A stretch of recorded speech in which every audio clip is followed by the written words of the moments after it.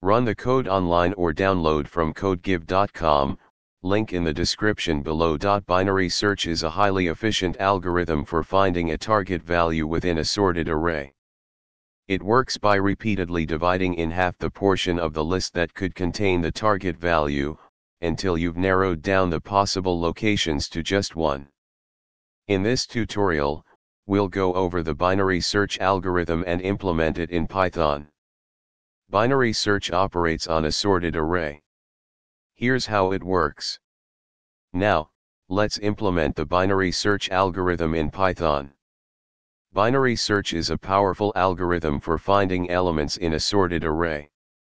It offers a time complexity of O, log n, making it significantly faster than linear search for large data sets. By understanding and implementing binary search in Python, you can efficiently search through sorted collections of data in your programs. ChatGPT